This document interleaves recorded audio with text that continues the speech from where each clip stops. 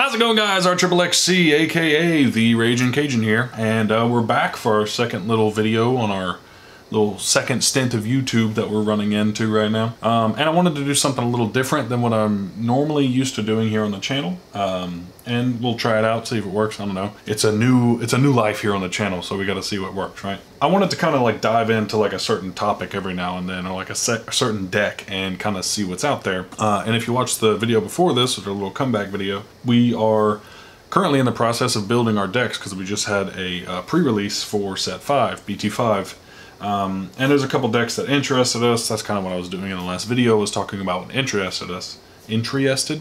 There's the English that I can't speak again. Anyway, this video, you can see by the title, I want to uh, dive into Hexeblaumon because we just did some testing uh, earlier on. Didn't film any videos yet because we want to be accustomed with the decks before we like put them out there for you guys to watch us play with because we don't want to look stupid. Um, and uh, I was playing Hexeblaumon and I had a lot of fun. Uh, Cameron Matuska uh, kind of put together a list. Uh, I changed it a little bit, and because because of how I changed it, I literally just dive into DigimonCard.dev and just kind of type in things on the search bar, which I'll show you here in a second, and just explore what I can do. Uh, because for someone like me, I forget cards and stuff like that. I'm kind of stupid. Uh, so, uh, what I wanted to do is kind of take you on that journey because I found a lot of things that are really cool, and I want to get your guys' opinion in the comments uh, on like what is your ideal version of the Hexeblaumon build. So let's go ahead and hop into DigimonCard.dev, and I'll show you guys what I'm talking about uh, with all these different options. All right, so here we are again. Excuse the frames with the webcam thing. I'm still working on the setup. I'm just trying to get some content out there because I'm I've been I've been eager to make videos recently, so ignore my face. Uh, let's talk about what's what we got going on here. So, uh, what I did was uh, I, I, played a couple games and I got used to Hexeblaumon a little bit because I haven't played in a while, and this is kind of a whole new archetype of things that I haven't really been working with, and I wanted to get accustomed to what was going on. So I played a little bit of Hexeblaumon. For those of you who don't know, uh, he is a 11k DP, uh, 12 play costs, which uh, haven't done yet, uh, but uh, Digivolution costs a 3, which is pretty okay. Um, and then, so when he's attacking, you're trashing up to two Digivolution cards from the bottom of one of your opponent's Digimon. Then, if your opponent has a Digimon with no Digivolution cards in play, this Digimon gets jamming. Um, and then all turns, your opponent's Digimon with no Digivolution cards can uh, cannot attack or block. Um, and so this is kind of the boss monster that kind of arose in this set from all of those BT1 and starter deck cards, which were removing sources. Um, there's a couple other things that have come about, but this is like the real heavy hitter that came out, and it really interested me in that way because uh, I saw all these cards and I would see all these cards come out, and I was like, man, there's really nothing there's no end game to this strategy, and this one really helps, uh, and it, it, gives it something to do. Uh, now, it's not just this, it's also the cards that come with it, uh, which is like the Blukomon line. Um, and Blukomon's really cool, right? Or Bulu, Bulucomon? I don't know how to say it. Uh, kind of behind my head here. Um, but if I can move this, there we go. Uh, so Bulucomon, I'm just calling him Blukomon. Uh, he's a 4 cost to drop, which is warranted for how kind of good he is. Uh, 3k DP, 0 cost to evolve, obviously. Um, and then on your turn, uh, when you trash a Digivolution card from one of your opponent's Digimon, you gain a memory. Um, and then he's followed up by Paildramon. And so when you Digivolve with Paildramon, uh, he's 2 to Digivolve and 5 to drop, which is good. Um, uh, trash up to two Digivolution cards from the bottom of one of your opponent's Digimon. So, again, you're getting rid of sources and doing stuff for Hexeblaumon. Then, of course, you move into the new one, which is Chris Paildramon. This card's really cool. Um, when you Digivolve into him for three, he's a 7k DP. Uh, you trash the bottom Digivolution card of all of your opponent's Digimon. So it's just really a source control deck, if you want to call it that, right? Um, so when you're building the deck, uh, I didn't build it. Matuska did. Cameron did. Um, he just kind of gave me the rundown, right? So he just kind of gave me the basic stuff. So we have Sora and Joe, which is a pretty cool tamer for this stuff. So at the start of your turn, they don't have any sources.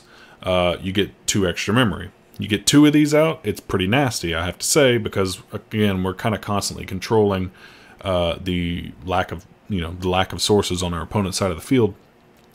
Um, but uh, then when you attack with a blue Digimon, you can tap this and trash two Digivolution cards uh, from the bottom of one of your opponent's Digimon. Um, and so that was kind of the gist of what was happening, right? I think our list had, um, let's see, uh, no Joes. We had the uh, Gomamon um, and Gabumon that kind of dealt with the same thing down here from the starter deck. Yeah, so uh, Gabumon here. So when attacking, uh, trash the Digivolution card at the bottom of one of your opponent's Digimon with a level 5 or less. Doesn't really help you when they have a 6.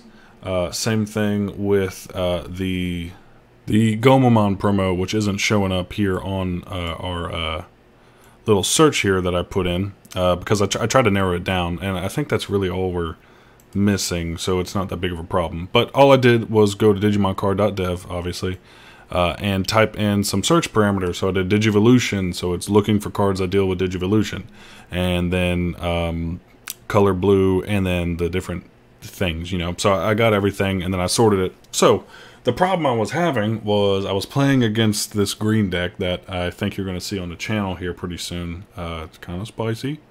Um, good or bad, I don't know yet. but we went back and forth a lot, and I was having a problem of no removal. Uh, we weren't playing any removal at all. Uh, the, it was just straight control. So I'm controlling you and trying to, you know, get to your security by having you not be able to do anything because I have Hexeblaumon. Um, and that's great, and when it works, it's great. But there's sometimes in the deck I was playing against, I needed removal for a big thing, and I didn't have any. Uh, so in my head, I was like, man, I know that there is a card that is going to delete something because it doesn't have um, Digivolution sources. It's got to just be, it, that has to be a card, right? So I couldn't really find it. And of course, um, I mean, there's Cocytus Breath, but I don't like sending things back to hand. I think that's kind of everyone's thing about Cocytus Breath at this point. Uh, but um, this is the card that came with Hexeblaumon, Absolute Blast. Uh, and so it's trash the bottom Digivolution card of one of your opponent's Digimon, then return one of your opponent's Digimon with no Digivolution cards at the bottom of its owner's deck. Um, so I found this, and I was like, okay, I can do this. Uh, it's a six to play, though, so I was kind of hesitant. And then I just kind of started looking through the cards that dealt with Digivolution sources, and I definitely just completely forgot about some of the cards. Uh, and this is kind of what made me want to make this video, is because there's a lot of cards in blue that deal with the Digivolution source thing that I wasn't really focused on because when I was playing Blue before, I was playing Blue Omni and ignoring all this stuff. But now that we have Hexeblaumon and we can go back, it's really interesting. Um, so there's Heart's Attack, right? So it says trash all Digivolution cards under one of your opponent's Digimon. So when you have Hexeblaumon out, you're happy because everything without sources can attack or block, right? And it's kind of dead in the water uh, until they digivolve on top of it. And hopefully, if you're doing it right, or they, it, ideally, if they don't have a tamer or anything and they're stuck, you can kind of hold them to one or two so that they can't really digivolve and do anything. Um, of course, there's, you know, now there's, you know, the uh, Chaos Mons that can have rush or haste or whatever uh, and do stuff. Um, but this card is cool because this is the I have my Hexeblaumon and then I I play three to kind of keep him active, right?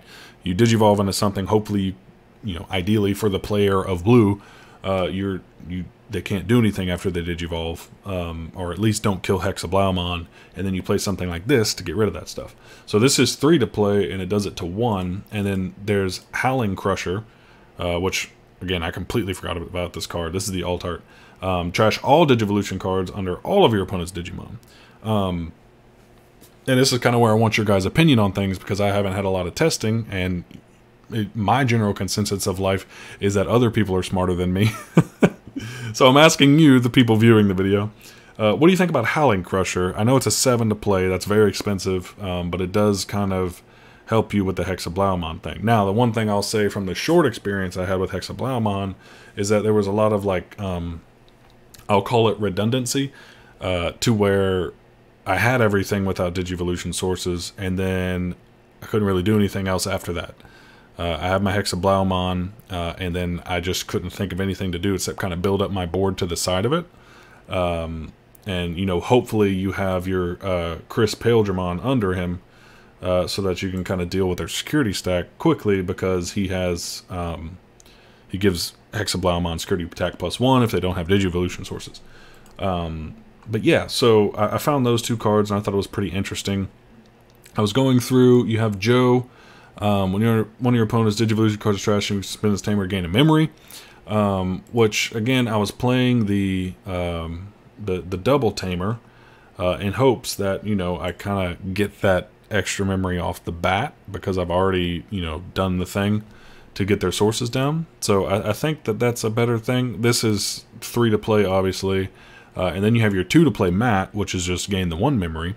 Um, so it's literally just a you pay for two get one, or you pay for four get two situation. So it, I don't know. I like this one because I also get the effect of removal later. So I think that this one's kind of cemented as the good one for this deck, if I'm not mistaken.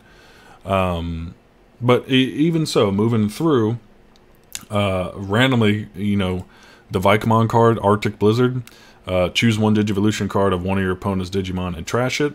Uh, then one of your Digimon gets uh, plus 2,000 DP for the turn. So this is the other thing I was running into with this archetype was a lot of the cards say, did you uh, take something off the bottom, off the bottom, off the bottom. And then there's the other side of the coin, which is the cards that say, hey, take it off the top, take it off the top, take it off the top. I think that's these Angemon cards. No, that's the bottom. I, I, I, saw it earlier. I was looking at this for a while to make this video. I obviously didn't do that much research. Um, but there's cards that take it off the top, and then there's cards that take it off the bottom, but not a lot of them let you choose. And so when you're running into green and you're really trying to get away, get that, um, you know, Mega Kabuterimon that deletes the security off of there, um, and you can't get to it from the bottom in time, you know, you're trying to protect yourself a little bit. I was running into that problem. Um, and so that's another reason why I was kind of doing this research. Um, and cards like this let you choose, right? Choose a Digivolution card uh, of one of your opponent's Digimon and then trash it. Uh, stuff like that uh, is interesting.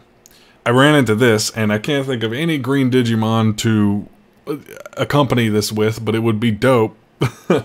Uh, but Death Parade Blaster, which is that Paildramon um, card that came up came out with them, uh, trash up to two Digivolution cards from the bottom of all of your all of your opponent's Digimon. Then, if you have a green Digimon, suspend something. That's dope. but I can't think of a green Digimon to stick into this Hexeblaumon deck, and I think it's kind of dumb. So, I mean, if anyone has a good idea for that, uh, a green Digimon that fits into Hexeblaumon to sit there so that I can eventually play Death Parade Blaster. If you got a good idea for that, please let me know in the comments, because I, I can't figure it out. Um, this card interests me. Um, I'll, I'll, drag you into the depths. Uh, all of your Digimon gain when attacking an opponent's Digimon with no Digivolution cards, delete that Digimon for the turn. So it's like retaliation, right? Um, maybe I'm thinking about this the wrong way. Um, but like I, I'm fairly certain like you die too, correct? Like I can't just swing with a a, a Gomamon into a Omnimon and not die. I'm pretty sure that that's how this works. So um, if anyone's had a good experience with this card, testing with this kind of thing, let me know. Um, I don't know if my head's in the right place with this, and this is literally why I'm making this video. Yeah, this is this is you watching an idiot look at look at a bunch of Digimon cards and try to figure out if things are good or not because his friends aren't here to tell him if he's right or not, and you're here for the ride, so you're welcome. Welcome back to the channel. um, uh, moving along, uh, there's Sorrow Blue and stuff like that, but again, some of that's not really uh, worth it. Uh, baby wise, you have Bukamon, which is the one we're running uh, right now. Uh, you trash at the bottom, of course, but it's only on a four or lower. Um, and then you have like the Gabumon, which is a five or lower. Uh, so they kind of like work with each other. So you, you do still remove a bunch of things. Um, but once you get to level six, again, if you're trying to get that, whatever that level five is, because a lot of the level fives in this game, you know, kind of sets your level six to that next level. You know what I mean? You, you know you want to be able to choose. So it, it, it's good for controlling early if you can get a Hexeblaumon out early. Which, by the way, um, uh, it may be bad playstyle or whatever, but dropping this Zudomon uh, and then turning it into a Hexeblaumon earlier on, and you're controlling your opponent because you've had some kind of success of removing sources, uh, felt really good. Um, you know, I, I turn one, two, two games I had tonight. Uh, I didn't have any rookies, but I had this. So I was like, screw it. So I dropped this. I draw my two cards next turn. One of those probably a Hexeblaumon or something I need. A rookie probably to set me up for next turn, hopefully. Um, and it, it, was really cool. So uh, that was something I experienced with this deck that was pretty awesome. Uh, the Zudomon. we're running two right now. Um, when we did run it in the past, we ran two as well, so that was kind of a thing. This Piranhamon, this is trashing the top, so this is what I was talking about earlier, trashing from the top. Uh, and then uh, the Angemon uh, and Magna Angemon. The Angemon is a 2 to evolve level 4, um, and you're trashing the bottom Digivolution card of one of your opponents, but that's only when you're attacking. So your option there is do you want to do it while you're attacking or not, because this is basically the same thing as uh, a Paildramon, because uh, it, it's when digivolving. So, you know, um, you kind of decide there. And also, uh, this is for one, and Paildramon uh, digi or I keep saying did digivolve because I play Blitzgreymon all the time. Takes away two. Uh, so those are your options there. Uh, as a assisting level six right now, we're kind of playing uh, this Regulacusemon. Bad English here, but whatever. Um, so when attacking, you trash the bottom, uh, and when you do, draw one. Um, this is what I was kind of talking about. If they if they're already like done, like I've already controlled them, good for me, right? Uh, I don't get this effect, and that bothers me. Uh, I, I want to draw one, and I, I want to like, uh, you know, really ramp up my domination of the game. If I if I am there, I don't want a dead end, uh, and I feel like I'm hitting that. I was looking at Vikemon. If this thing wasn't four to evolve, I'd be so much more excited about it. You know, I don't want to have to have a Hammer Spark to do this to feel better about myself. This would be cool, but I, I can't get around this four to evolve. If y'all found that this works, let me know because I would love to play Vikemon. It, look at look, we're the same person. See. uh, but yeah. Um, and and that's really all I kind of found. It, th- there's a lot. I don't know. This is the first archetype I really dove into, and I was like, oh, there's like options here of different things to do. Um, and I want to know your guys' opinion on it. So thanks for sticking around for this idiotic mumbling. or whatever you want to call this. Uh, I, I thought this was decent content. If not, let me know. Tell me I'm trash. Because uh, people do that on the internet, right? Just tell people they're trash on their YouTube videos, but it's okay. Because you're also trash. You're also trash. I'm not good at this game. I don't know why I talk uh, talk trash. Anyway, thank you guys for watching. Appreciate it. Welcome back to the channel again. We're kind of easing our easing our way in here. We're building decks. We built two tonight. Uh, we're going to build a couple more. We're going to play around with all of them. Uh, so we all have a good idea so that when we actually play for you guys that it, it's reasonable play and not just uh, a bunch of you know bad plays because we don't know what's coming kind of deal so um, thanks for being here We'll see in the next one. Uh, I don't know what it's going to be, but there will be another one. See y'all later.